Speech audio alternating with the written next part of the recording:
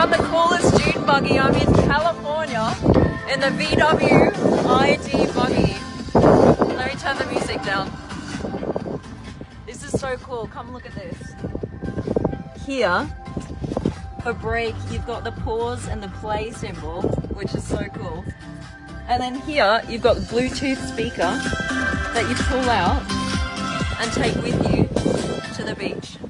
So this is a sand buggy and it's completely electric. When it gets all sandy inside, you can literally just hose the whole thing down. This material is fully waterproof.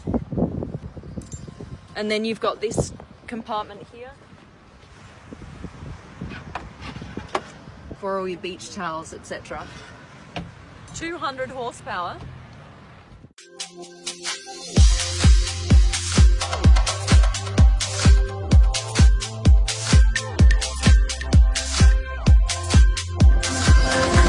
Top speed in this is 160 kilometers an hour, and 0 to 100 is just over 7 seconds.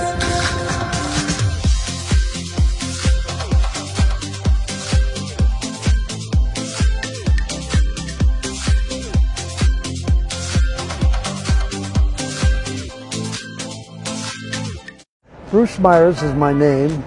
Uh, that name, Meyers Manx, was given to me when I was married to Shirley. And uh, one day she went up to, to work and said we were going to name that car. I think out of the 33 people, there was four of them that came up with the word Manx. And then Elaine Bond said she's just always smoking and, she, and it should be Meyers Manx. I said, no, Elaine, I'm a little too shy for that. She says, no, no, it'll be good for you someday. That was 55 years ago.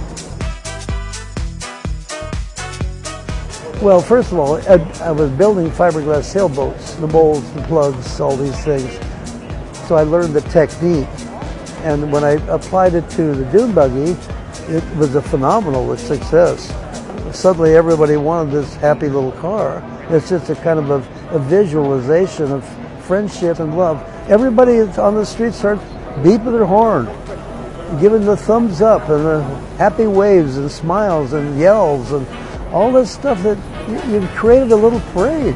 And you didn't do anything, you just had a dune buggy. But if you put a few of them together, it always does that. A little short car with great big wheels is cute. That's automatically it says fun. It has a sense of adventure. See, the car, it, it's, it expresses uh, friendliness, openness, uh, altogether uh, something that we all need in life. So what, what is the dune buggy? I, I guess it's just a huge love affair. Obviously, I started something a long time ago, and when I see a huge company like Volkswagen taking this kind of an interest, they've got themselves something that's really powerful. The surfaces of, of it are very, very beautiful, artistic, obviously driven, and it's, uh, well, beautifully styled. That car will bring so much and so many opportunities for Volkswagen to have a, a connection with the world of the dune buggy. It's a, it's a place of happiness and fun, community, love. It's a huge attachment. And addressing it with that, well, they're, they're on to a good thing.